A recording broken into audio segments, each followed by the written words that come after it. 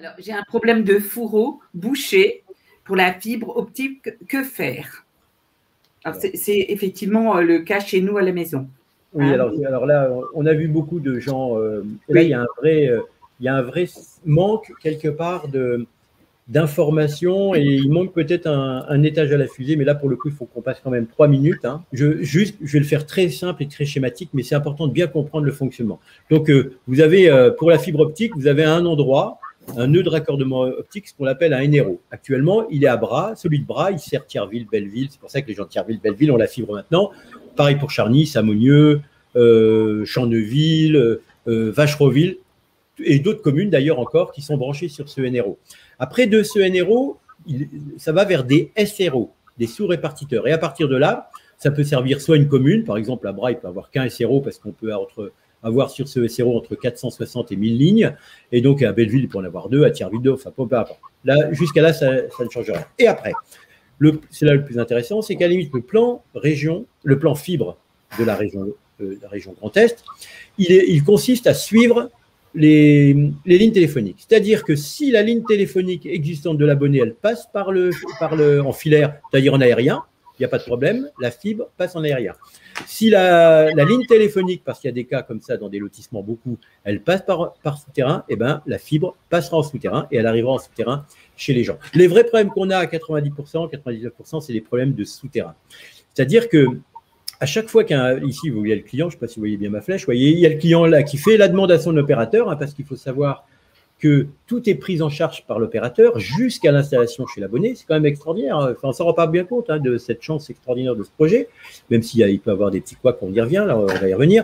Donc, il appelle son opérateur, qu'il choisit, hein, euh, enfin, à Bras, Belleville, euh, dans les communes qui sont euh, demain, toi, chez toi, Dieppe, à Thierville, il y a entre, le choix entre 10 et 12 opérateurs. Hein, c'est quand même le choix, on n'est pas limité. Donc, elle appelle n'importe quel opérateur et c'est la région qui paye l'opérateur ou un sous-traitant par moment, c'est là où on a, on a des soucis, qui paye l'opérateur pour aller sur le point, le, PBO, enfin peu importe. Il va se raccorder là et il va ramener, hein, peu importe, il va ramener la fibre devant la personne, là, devant l'habitation. Il y a un regard à l'extérieur et ça se complique. De l'autre côté, logiquement, dans les constructions un peu modernes, entre guillemets, qui ont 20 ans, il y a un regard dans le domaine privé. Si je prends mon exemple, voilà, en 1999, quand j'ai construit, j'avais prévu un regard et deux gaines. J'ai dit, on ne sait jamais, deux gaines. Bah, pas de chance, les deux gaines étaient bouchées. Ça veut dire que, et là, la, région Grand Est et l'opérateur ne viendra pas chez vous. Donc, s'il y a un vrai problème chez vous de passage, euh, une gaine bouchée ou qu'il n'y a pas de gaine, il n'y a pas. Je parle quand c'est enfui. Hein. Il n'y a rien, il n'y a jamais de souci en général. Là, ça veut dire que là, vous n'avez pas de choix. Vous êtes obligé, je vais zoomer d'ailleurs, là, vous voyez ici, vous êtes obligé de revoir. Moi, j'étais obligé de refaire une tranchée. Donc, quand euh, l'opérateur vient faire intervenir ces gens, il, vous, il vous dit que c'est bouché, la première chose à faire, c'est de savoir si c'est bouché sur le domaine public ou c'est sur le, domaine privé. Ce qu'il faut faire tout de suite, c'est déjà bien regarder chez vous si vous avez bien la gaine et que ça passe bien. Et ça, euh, on ne pourra pas y déroger. C'est la région, c'est un projet d'1,4 milliard.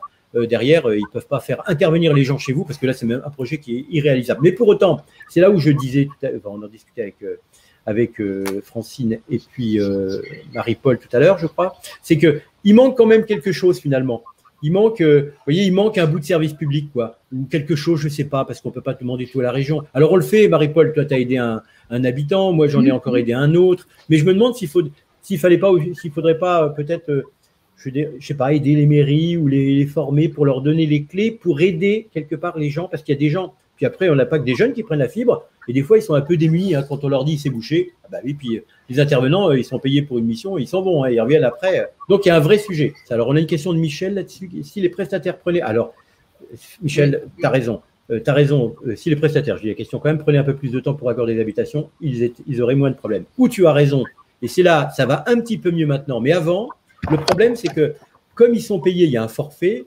Je ne sais plus combien il est, hein, je ne vais pas donner de somme, mais un forfait pour faire cette intervention. Et eh ben, quelque part, s'ils perdent du temps, bah, du coup, et que ça va pas bien, bah, il, déclare un échec. Et un échec euh, permet voilà, de ne pas reperdre d'argent. Parce qu'autrement, s'ils si, passent euh, trop de temps, quelque part, ils perdent l'argent ou ils n'en gagnent pas suffisamment. Mais franchement, moi, j'ai déjà vu les opérateurs, ils passaient un temps fou sans rien dire. Et je trouve, plus ça avance, mieux ça va. Mais tu as raison dans ta question, c'est un vrai problème.